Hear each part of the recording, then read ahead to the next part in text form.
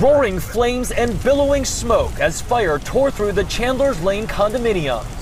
Someone pounded on my door and said, Get out of here, there's a fire. Firefighters attacking the inferno from all angles. Residents running out, then watching as their homes burned. One taken to the hospital.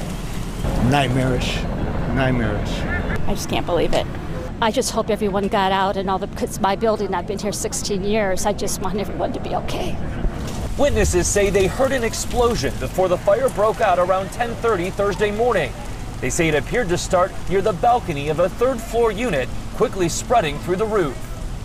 It was like a loud popping sound, and you can look out the window and see like paper and confetti falling down. The building has 48 units. Its wood frames fueling the fire, which spread through all three wings, forcing firefighters out. Three were hospitalized with minor injuries. They conducted a primary search, did an interior attack.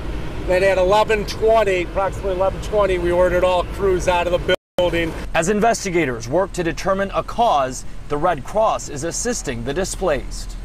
66 years of my life is an ash, but that's okay. I'm out here and I'm fine. Now left to rebuild their lives. It's devastating. Now you got to start all over somewhere.